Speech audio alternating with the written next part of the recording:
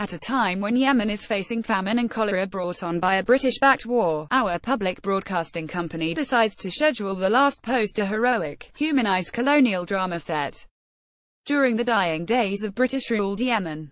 Under Queen Victoria, Britain seized Aden as a major strategic port and held the surrounding protectorate for 130 years until its forced withdrawal in 1967. Anti-colonial sentiments The drama takes place during the state of emergency imposed as anti-British and anti-colonial sentiments were growing and while the RAF were bombing Yemen rebels.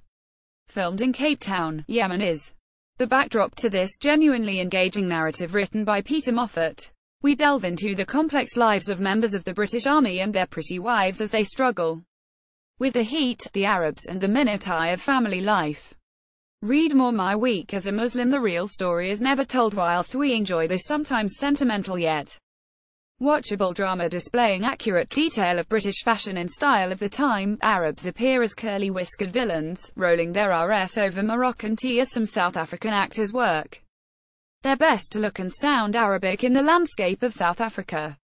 Meanwhile, as we get to know these strong-chinned British boys, they struggles with class, family dynamics and life with the army. We know nothing of the people fighting to take their country back or what life was like for the Yemenis living under British rule. Somehow the urge to free one's own people from colonialism is presented as the radical wish of one ruthless extremist.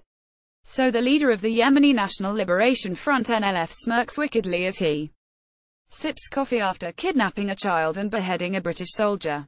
Yemeni characters elsewhere, the young English girl with coiffured hair, played sensitively by Jessie Buckley, lets one tear carefully drop onto her vintage white blouse as her husband faces court-martial for doing a private deal with the rebel leader to save the boy.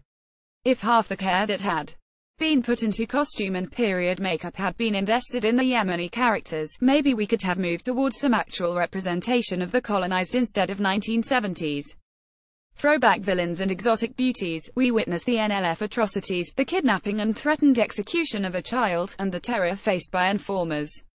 A nod is made to the British brutality in army prisons this was reported by Amnesty in 1966 but it is quickly justified as the only way to protect the fair-minded British in the land of the savages. There is a Muslim female character, which is exciting, played by the stunning and excellent Ouidad Elma. Yusra's predominantly silent role is performed with depth, expression and determination, but the positive of having an Arab female protagonist does not excuse her lack of backstory or character development. We know Yusra is poor, mysterious and brave. Just like in a fairy tale, she is trapped in the old cliché of the beauty in the desert. The forbidden love interest is between her and a young British soldier, played by Tom Glynn-Carney. Elma is allowed no screen time to mourn her entire family burned alive as punishment for her helping free the little English boy captured by the rebels. No, there is romance to fill as she kisses the blonde soldier and, just like in a James Bond film, the exotic beauty is shot pretty soon after. I guessed it too. The second and she had about a dozen after the kiss. By contrast there is plenty of time to delve into the travails of Alison Laithwaite, faultlessly performed by Jessica. Raine, who is pregnant through an affair, can't stop drinking and is desperately seeking an abortion.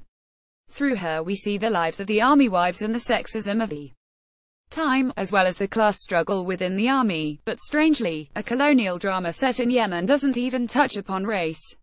End of Empire felt hopeful after watching Channel 4's The State earlier this year which led the way with sympathetic and complex Arab and Asian protagonists rather than throwbacks to colonial-era stereotypes. The dialect was perfectly region, accents were faultless and everyone genuinely played their nationality, no handy swapping of brown-skinned actors. Yet these characters were off to join a death cult and we felt for them deeply without understanding their motives.